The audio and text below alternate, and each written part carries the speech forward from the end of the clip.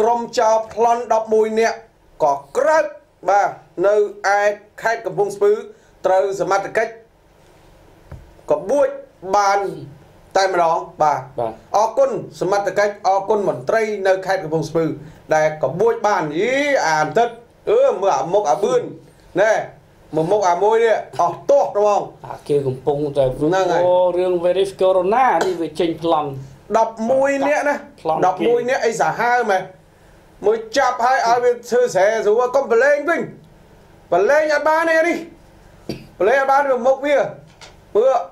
ពួកនេះមើលមុកាខចសាហាវណាស់លោកលោកស្រីប្រើសិតតែកបិតបកៈបាទកាប់សម្លាប់ប្លន់តែម្ដងបាទអូខេព័ត៌មានរបិទសូមឲ្យលោកកតុងរាយការណ៍ជូនប្រិយមិត្តយើង អរលោកលោកស្រីជាទីមេត្រីក្រុមចៅប្លន់ម៉ូតូចំនួន11លាក់នេះគឺបានអស់លាក់ហើយត្រូវបានជំនាញព្រមទាំងរដ្ឋធ្ងន់សហការជាមួយសមត្ថកិច្ចពាក់ព័ន្ធគឺបើកប្រតិបត្តិការបក្រាបនិងចាប់បានបាទពីករណីប្លន់យកម៉ូតូដែលបានប្រព្រឹត្តនាពេលកន្លងទៅនៅឯផ្លូវលំភូមិក្បាលអូឃុំព្រះស្រែស្រុកឧដុង្គខេត្តកំពង់ស្ពឺដែលធ្វើឲ្យប្រជាពលរដ្ឋមានការភ័យស្លន់ស្លោជារៀងរាល់ថ្ងៃតែម្ដង ហើយសកម្មភាពប្លន់នេះគឺបានធ្វើជាញឹកញាប់នៅក្នុងភូមិសាស្ត្រខាងលើដោយតាមការបំភ្លឺរបស់ជនរងគ្រោះម្នាក់ក្នុងចំណោមជនរងគ្រោះដទៃទៀតឈ្មោះថាឡូនលីភេទប្រុសអាយុ50ឆ្នាំដែលនៅភូមិឃុំខាងលើត្រូវបានបាក់ពួកចោរប្លន់ម៉ូតូនេះមានគ្នា4នាក់ហើយជិះម៉ូតូ2គ្រឿង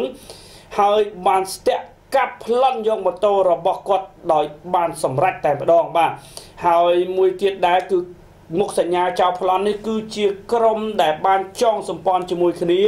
ដែលមានចំនួនរហូតដល់11នាក់មានមេខ្លោងមានអ្នកផ្សំគំនិត មានអ្នកមើលផ្លូវមានអ្នកបិទគូតបាទហើយនៅពេលដែលសមត្ថកិច្ចចាប់បាននោះគឺដកហូនម៉ូតូចំនួន6គ្រឿងបាទហើយរកឃើញវិញឲ្យជនរងគ្រោះដែលបាត់បង់ពីមុននោះគឺចំនួន3គ្រឿងឯណោះបាទក្នុងបាទចំណោមម៉ូតូ6គ្រឿងនេះបាទអញ្ចឹងបានប្រគល់ជូនជនរងគ្រោះដែលវាបានកាប់ប្លន់នោះបាន3គ្រឿងមកវិញបាទហើយមួយទៀតម៉ូតូ2គ្រឿងមួយគឺម៉ូតូ Magnet ពណ៌ខ្មៅម៉ូតូ Honda C125 019ពណ៌ខ្មៅវាប្លន់បានកាលពីថ្ងៃទី23ខែមករាកន្លងទៅដែល ចាប់បានជនធ្វើសកម្មភាពនេះគឺ4នាក់រួមគ្នាធ្វើសកម្មភាព គឺពួនស្ទាក់និងវាយជនរងគ្រោះប្លន់យកម៉ូតូនេះតែម្ដងបាទហើយក្នុងនោះដែរគឺ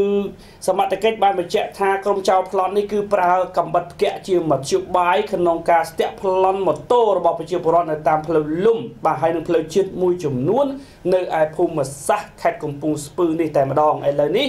សរុបក្រុមចៅប្លន់ដែលចាប់បានគឺទាំង11នាក់នេះត្រូវបានជំនាញកសាងសំណុំរឿងបញ្ជូនទៅអាយកាអមសាលាដំបងខេត្តកំពង់ស្ពឺចាត់ការតាមនីតិវិធីច្បាប់បាទក្មេងៗអលោកលោកស្រីអាយុនេះគឺមានអាធំជាង16ធំមានធំជាងគេ16ទៀតបាទមានអា16អាធំជាងគេហ្នឹងគឺតែ28 28អាហ្នឹងធំជាងគេ16ដល់អាហ្នឹងមេ28អាហ្នឹងមេបាក់អាហ្នឹងមេបាក់ឯងនេះវាមានមេខ្លោងមានផ្សំកំណត់ឲ្យក្មេងៗអលោកបាលោកទស្រីមើលឃើញទេសិតនេះតែសិហើស្សយសាលាបាទ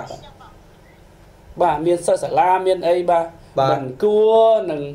អឺអឺធ្លាក់ខ្លួនប្រព្រឹត្តនៅអំពើល្មើសច្បាប់ឆក់ប្លន់លួចកាប់សម្លាប់គេដូច្នេះទេអលោកលោកស្រីក្មេងៗមើលទៅហើយនិយាយពីកំពង់ស្ពឺនេះយើងឃើញហើយយុវជនភាគច្រើននោះគឺថាជិះម៉ូតូគឺមានរបៀបបាទលេងបាទម៉ូតូសំម៉ាំងអីជាដើមនេះបាទដូចប្រែនប្រែនងងងាងជិះតាមផ្លូវឆាបវ៉ាជើងឆ្លើយពីលីអាវ៉ាសែតែម្ដង ក្មេងកំពង់ស្ពឺគុំស្ពឺបាទក្មេងកំពង់ស្ពឺមិនមែនទាំងអស់ទេគេថាមកក្រុមពីរក្រុមហ្នឹងគួរអុកលុកហ្មងបាទបាទហើយមួយទៀតល្បីថារឿងនៅកំពង់ស្ពឺនឹងបើកបរគឺពិបាកណាស់ពិបាកភ្នែកណាมันប្រយ័ត្នបត់ងាវតែម្ដងបាទអញ្ចឹងសូមឲ្យបងប្អូនទាំងអស់មេត្តាបើកបរកុំថាឡើយផ្លូវជាតិលេខ4ហ្នឹងបាទ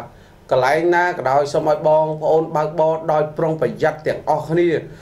បើយើងមិនប្រុងប្រយ័ត្នឃើញគាត់កំពុងបើកបើកនោះងាវចូលទៅបាត់យើងជន់ប្រាំងអត់ទាន់អញ្ចឹងយើងបើកបរដោយ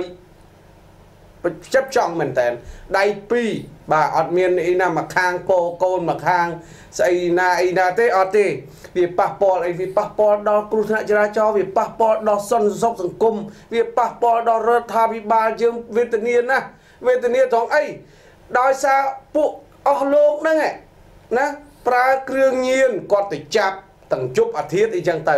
ប៉ុន្តែដោយដោយអឺជនឱកាសឆ្លៀតឱកាសហ្នឹងគឺជន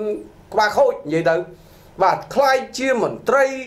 ដែលដើរចាប់ក្មេងស្ទាវអីចឹងទៅចេះតែមានគ្រប់វិធីសាស្ត្រតែមកវិធីសាស្ត្រពួកគាត់នេះចាប់បានដកកញ្ចក់តែម្ដងទៅវាល្អជាងបកកែបកកែមែនគិតទៅរកស៊ីទៀងត្រង់ទៅរស់បានប្រហែលយកប្រប៉ុណ្្នឹងទៅណា ធ្វើអំពើល្អទៅវាចប់បាត់ណាគិតតែរឿងកាប់សម្លាប់ណាស៊ីសងគ្នាអញ្ចឹងចឹងខ្ញុំអត់ទេខ្ញុំសុំឲ្យបងប្អូនមេត្តាទាំងអស់គ្នា បាទកុំប្រើអំពើហិង្សាឲ្យសោះបាទ បាទអរលោកលោកស្រីដោយសារតែពេលវេលារបស់យើងមានកំណត់រាល់ការផ្សាយរបស់ទូទូធាន MTV Online ក្នុងកម្មវិធីព័ត៌មានពេលរសៀលក៏បានឈានទៅដល់ទីកំណត់ដែរ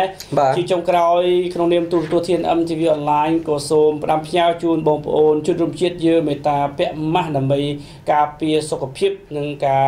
បង្ការនៅការរីករាលដាលឆ្លងនៅ virus corona នេះផងដែរហើយសូមធ្វើដំណើរទៅណាមកណាគឺប្រកបដោយសុវត្ថិភាពគ្រប់គ្រប់គ្នាសូមគ្រប់ច្បាប់ចរាចរណ៍បាទពេលនេះខ្ញុំបាទជាមួយនឹងលោកកែយុសែមបារាសូមអរគុណសូមជម្រាបលា